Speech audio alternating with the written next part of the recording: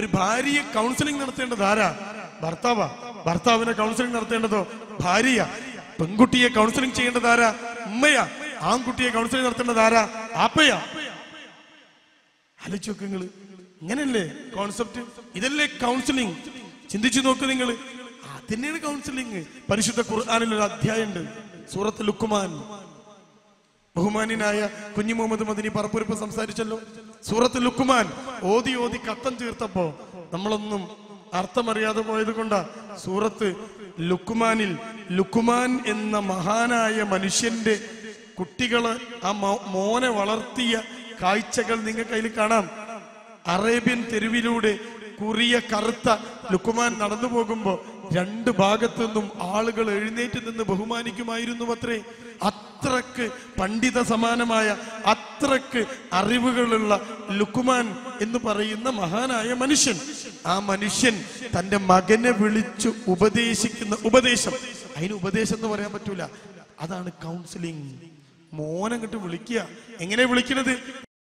പോസിറ്റീവായിട്ട് വിളിക്കുക. വളരെ പോസിറ്റീവായിട്ട് എന്നിട്ടോ?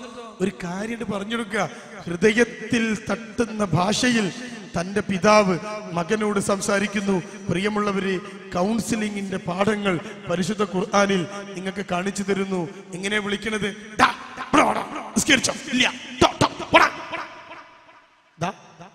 ഇങ്ങനെ ഞാനും നിങ്ങളും കുട്ടിയെ പറ്റിയത് ഇങ്ങനെ. ആണോ? എന്നാലോ അറിവ് പാണ്ഡിത്യമുള്ള മനുഷ്യൻ തന്റെ മകനെ വിളിക്കുക. എന്താ വിളിക്കുന്നത്? യാ ബുനയ്യ ലാ തുഷിരിക്കുമില്ല ഇന്ന ശിർക ലദുൽമുൻ അളീം.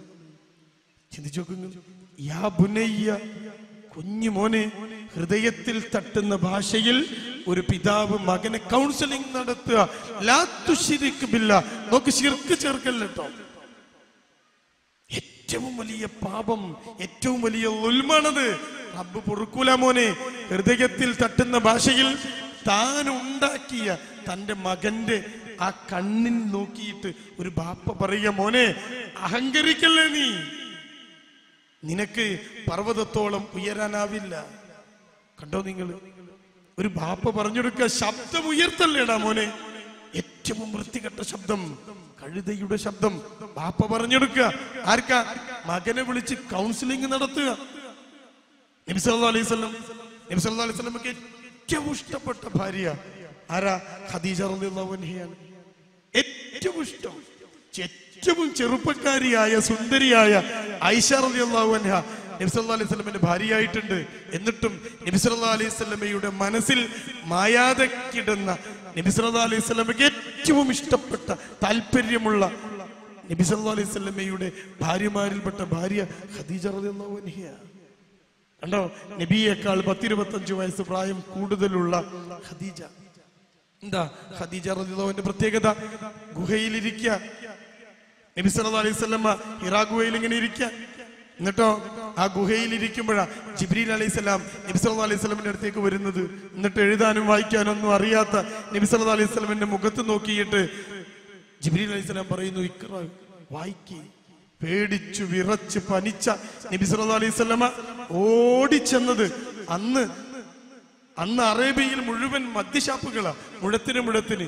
നബി ഓടിക്കേറിയത് അവിടേക്കല്ല തന്റെ ഫ്രണ്ട്സിന്റെ അടുത്തേക്കല്ല. ഏതെങ്കിലും കൗൺസിലർ നമ്പർ കിട്ടുമെന്നല്ല ചോദിച്ചത്. നബി ഓടിച്ചെന്നത് ഏറ്റവും ഇഷ്ടപ്പെട്ട തന്റെ ഭാര്യന്റെ അടുത്തേക്കാ. ഖദീജ എന്നെ ഒന്ന് പുതപ്പിക്കുന്ന ഖദീജ റളിയല്ലാഹു അൻഹ നബി സല്ലല്ലാഹു അലൈഹി കെട്ടിപ്പിടിച്ച് ഒരു പുതപ്പുകൊണ്ട് പുതപ്പിച്ച് ആ നബി സല്ലല്ലാഹു അലൈഹി വസല്ലമയ്ക്ക് കൊടുത്തത് എന്താണെന്നറിയോ അതിന്റെ ഇംഗ്ലീഷ് പേരാ കൗൺസിലിംഗ് ഇല്ലേ? കൊടുത്ത പേരാ അത് കൗൺസിലിംഗ് ഉണ്ടോ? എന്നിട്ടോ നബിയോട് പറഞ്ഞു സാരാക്കണ്ട എന്താ പ്രശ്നം? ഇങ്ങനെ എങ്ങനെ ഞാൻ കണ്ടു. നിങ്ങൾ നിങ്ങൾക്ക് നുപുവത്വം കൊണ്ട് വന്നതായിരിക്കും.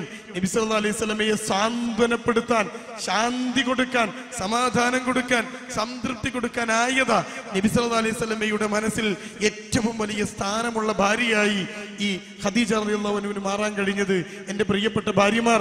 എന്റെ ശബ്ദം കേൾക്കുന്ന സ്ത്രീകൾ ചിന്തിച്ചു നോക്ക്. ഭർത്താവിന്റെ ബിസിനസ്സിൽ ഒരു ചെറിയ പ്രശ്നമൊക്കെ വന്ന് ഭർത്താവ് ഭാര്യന്റെ അടുത്ത് വന്ന് ചോദിക്കുക പറയാണ് എന്റെ നിങ്ങളെ മുഖത്തൊരു വാട്ടം? അങ്ങനെയൊക്കെ ചോദിച്ചാ ഭാഗ്യം ഇല്ലേ? മലപ്പുറത്താണെങ്കിൽ ചോദിക്കുക എന്താ നിങ്ങളെ മോന്തമ്മൽ? എന്നാ ചോദിക്കുക? അപ്പൊ ഇത് കണ്ട ഭർത്താവ് പറഞ്ഞു എടി ബിസിനസ് ഒക്കെ ഇങ്ങനെ പ്രശ്നമാണ് ആകെ പ്രശ്നം ഒരു സമാധാനം ഇല്ലാന്ന്.